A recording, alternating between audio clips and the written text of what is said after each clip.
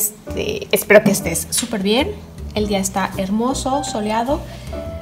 Y bueno, vamos a disfrutar esta acuarela. Es una marina muy sencillita. Todos los las pinturas que hacemos aquí en este en YouTube son cuadros sencillos que tú, te ayudan pues, si eres un principiante, si eres un niño, y, los que tenemos ya un poquito más avanzados, te tenemos este, te vamos a poner, tenemos, perdón, tenemos la liga ahí abajo para que puedas inscribirte y comprar tu curso ya más avanzado, ¿verdad? Pero para empezar estos cursos o por ejercicio. Igual si ya tienes un nivel más avanzado y lo que quieres son hacer ejercicios, esos están perfectos. Yo hago ejercicios toda la vida, no importa el nivel que tengas, a veces hacer cosas muy sencillas te despeja la mente y te ayuda a resolver algunas cosas que luego se te atoran, ¿verdad? Muy bien, entonces te decía, es una acuarela muy, muy sencilla y viene un barquito de este lado. Hacemos como un triángulo para el barquito y está de frente, entonces solo vamos a tirar una línea lo más derecho que podamos, alta, y lo dividimos a la mitad y hacemos así como un poquito de líneas curvas que nos marcan, eh, me imagino que es un barco de madera, entonces como un poquito el, trazo de madera. Porque puse demasiada línea, lo voy a borrar porque luego se va a complicar con la acuarela, se mezclan, ¿verdad? Más adelante vamos a poner otro barco, también un poquito de frente.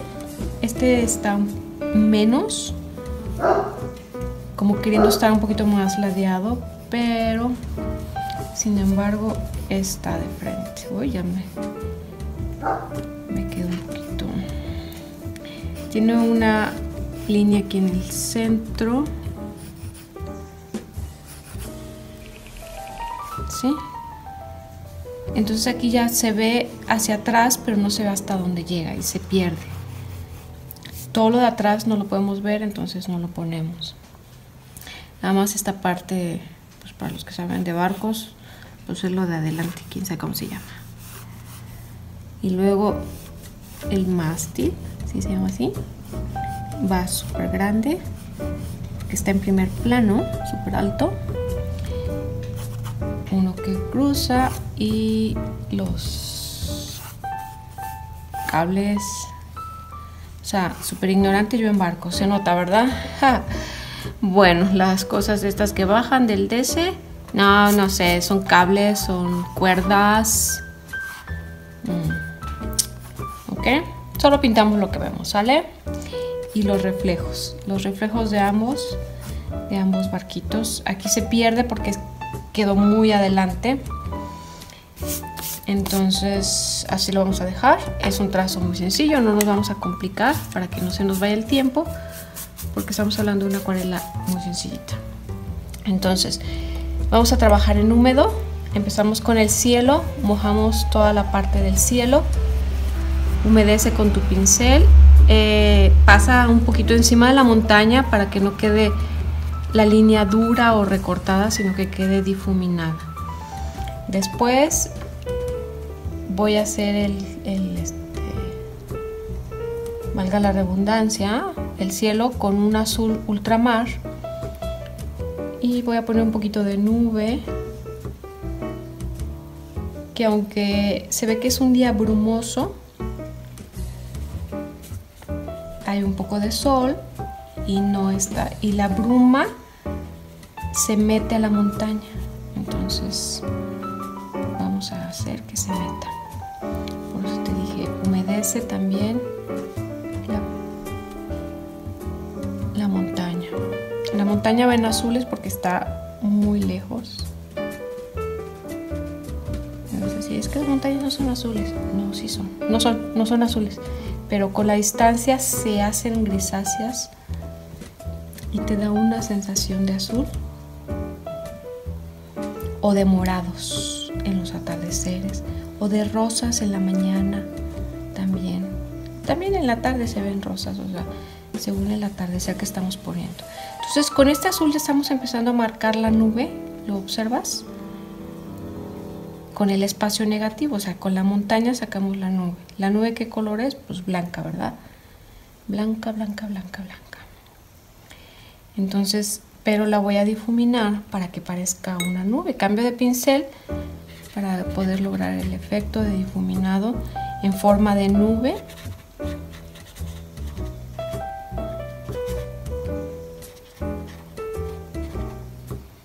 y ya tengo la nube que está encima de la montaña y que se pierde la montaña con este con el cielo aquí le voy a poner un poquito de línea que cuando se seque se va a ver todavía más perdida ¿no?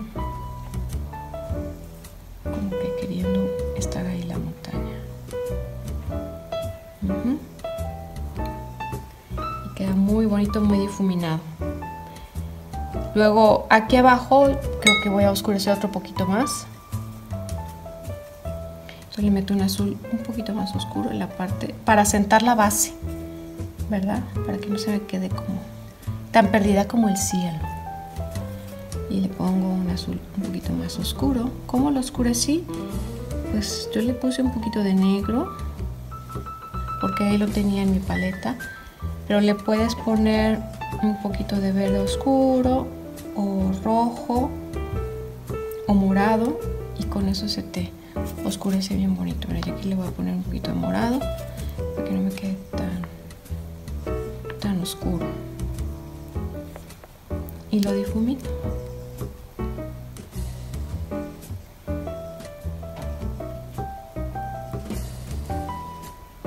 Enjuago y seco mi pincel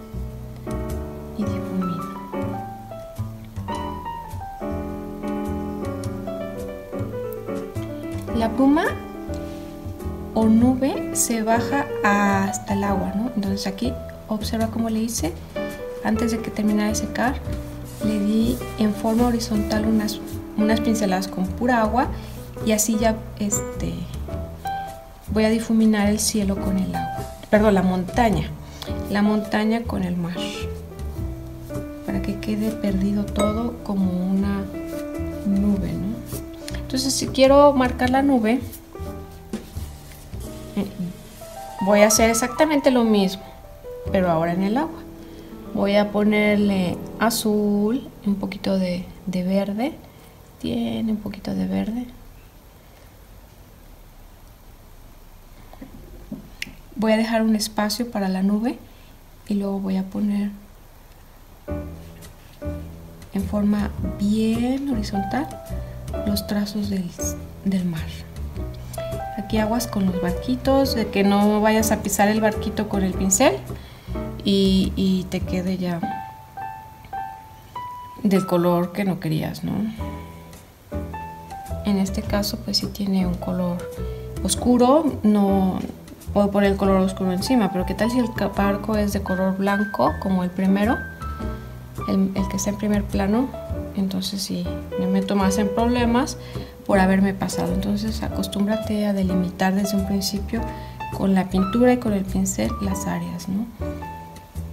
Y pues mantener la concentración. A mí me pasa que me, me empiezo a, este, a desconcentrar y me empiezo a equivocar, ¿no? Entonces me mantengo concentrada en lo que estoy haciendo y es más difícil que me equivoque. Eso no significa que no nos vamos a equivocar, claro que nos vamos a equivocar, no, pues está hecho. Pero pues lo que podamos se corrige y lo que no se vuelve a hacer, etcétera, etcétera. Ya tú decides qué vas a hacer con tu pintura. Si te salió más o menos, la corriges. Si está todo súper mal, pues yo lo que hago es que mejor la vuelvo a hacer, ¿no? Y cuando algo no me sale, lo repito tantas veces sea necesario hasta que me salga. Te paso ese tiempo. Y esta disciplina la, vas a, la, vas a, la puedes aplicar a cualquier cosa. Si te dedicas al ballet, si te dedicas a, la gimnasia olímpica o a la patineta, nada sale la primera que estar intentando, intentando hasta que nos salga. Y lo que no salió, no te frustres, o sea. Le puse un poquito de verde encima y de este lado tiene, mm, le voy a poner un azul muy claro primero. Bueno, ya me quedó verde. Un verde azul muy claro. Y después vamos a poner un poquito de amarillo como de de atardecer.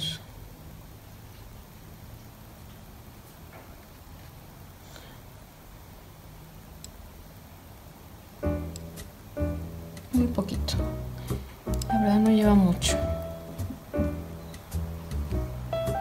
Unos reflejos en azul. Entonces ya tengo bien mojado mi papel, necesito que se seque un poquito, pero antes de que se seque por completo voy a hacer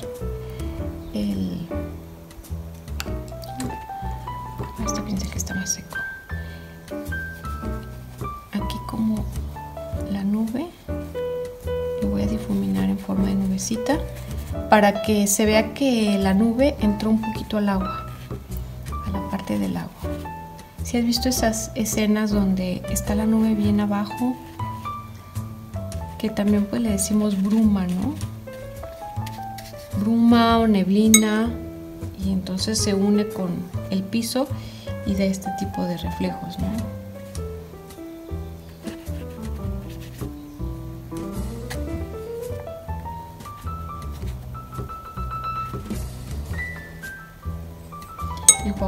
Pincel, lo seco y, trato de quitar la pintura, pero en forma de nube. Y así voy creando esta sensación de, de nubosidad. No sé si inventé esa palabra o si existe. Ahora voy a hacer el barco que está atrás con un pincel más delgadito, que es de color café tiene un cafecito un poquito oscuro. Y a este café le voy a mezclar un poquito de amarillo en la parte derecha para darle luz y un poquito de oscuro en el lado izquierdo. Entonces aquí le puse un cafecito con amarillo.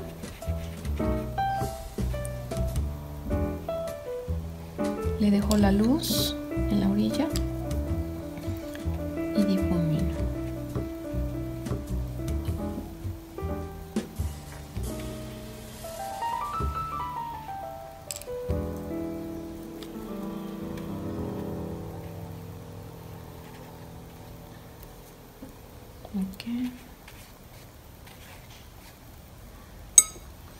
Y del lado derecho pongo el mismo cafecito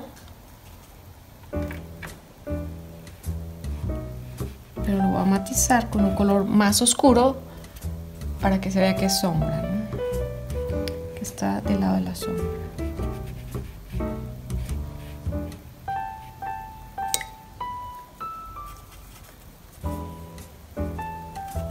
Y ponemos este azul.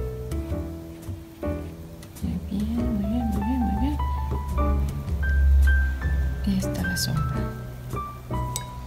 Ya quedó un matiz. Tengo que esperar a que se seque. Puedo tocarlo así ver, pero pues se ve que está mojado porque está todo el papel arrugadito. Entonces voy a hacer el barco de adelante con un azul cobalto, o sea, más. Ah, no, este, este es como, como. O un azul verdoso más clarito. Porque el barco es de color blanco, pero pues está reflejando el azul de, del agua, ¿no? Y lo difumino.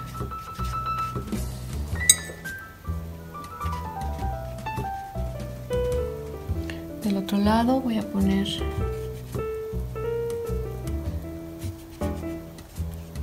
el otro azul que va como contraluz aquí, un reflejo muy fuerte.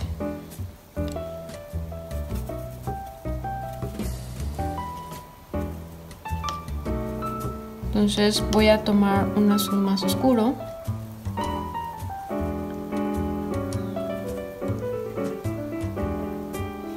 Y voy a poner una sombra aquí en la parte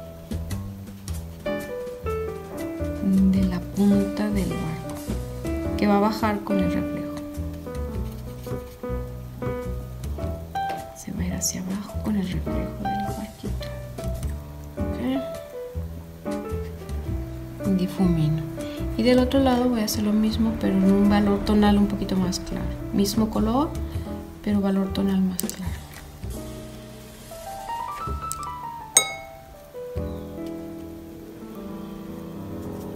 Le puse un poquito de verde también para reflejar.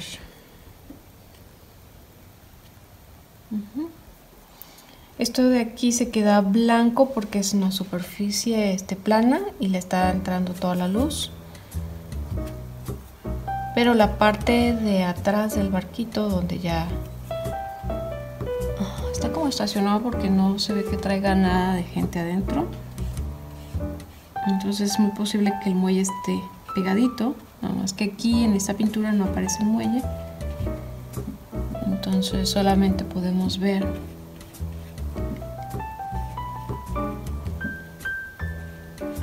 parte del barco. En un tono más oscuro porque lo que está dentro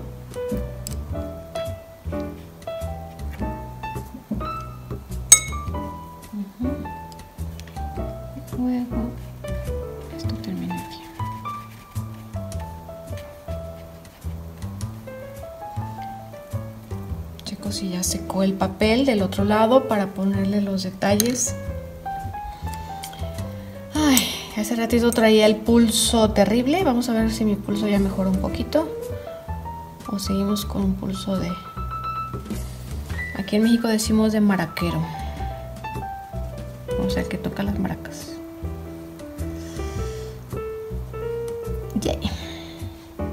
Y para abajo. Luego las líneas que van, que hace ratito decíamos, no, pues son cuerdas, no sé. Son súper delgaditas.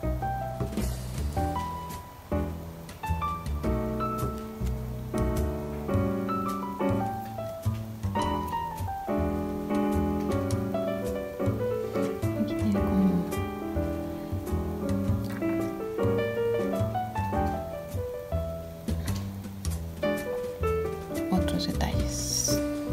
Ok, ¿qué nos falta? Los reflejos. Bueno, vamos a hacer primero los hilos del otro lado.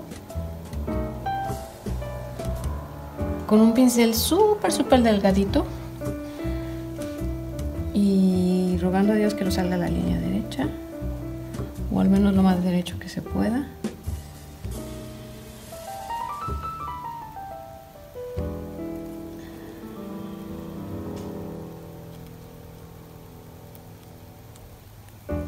Vamos a hacer las líneas que cruzan que sabe Dios cómo se llaman para las velas y dónde va la vela y la portavela y la quince que vela.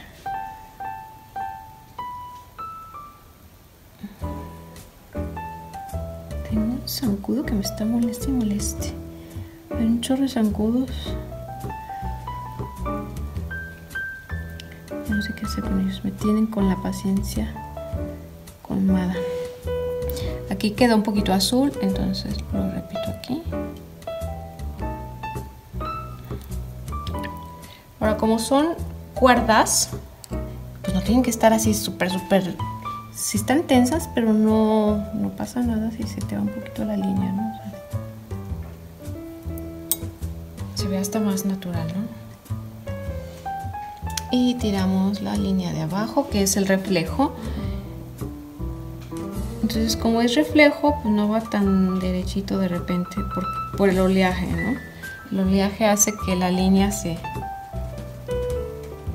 se mueva ¿no? por eso los reflejos siempre están así como chuquitos y vamos a hacer los reflejos del barco Vamos a usar un pincel medianito y vamos a hacer los reflejos del primer barco con azul y un poquito de verde.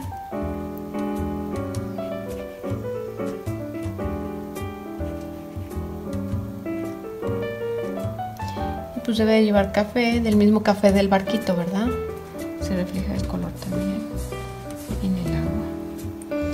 Agua. Funciona como un espejo.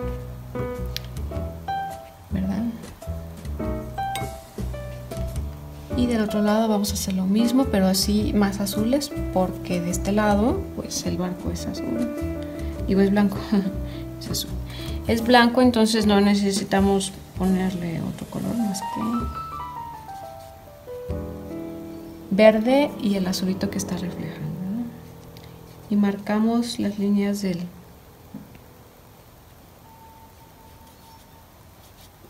del oleaje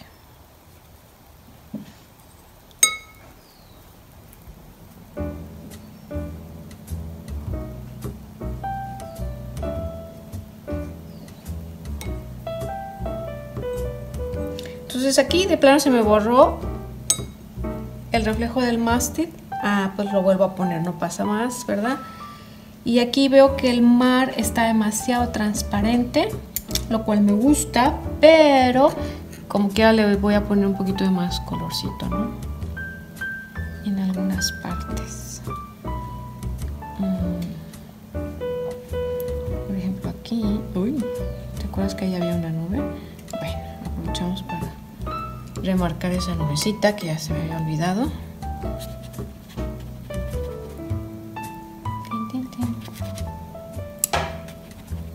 Que no quede la línea muy recta efecto de nubecita. Eh, ponemos un poquito de, de azul en el agua. El mismo azul que hemos estado usando.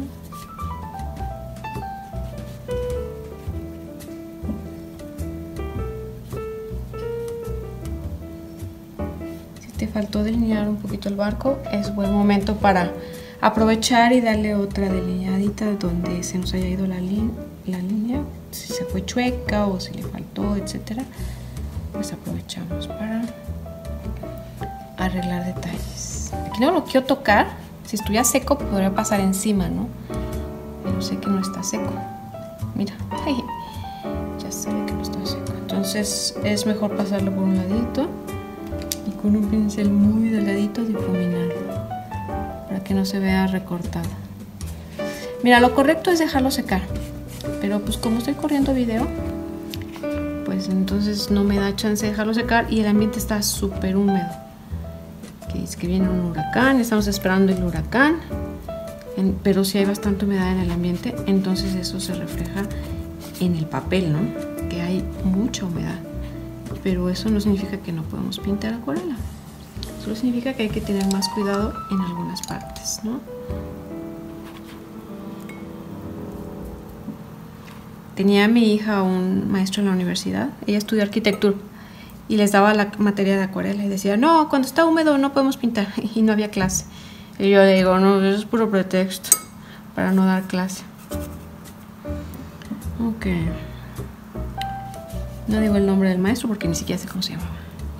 Pero bueno, sí se puede pintar, solo se batalla un poquito. No lo niego, sí se batalla otro poquito.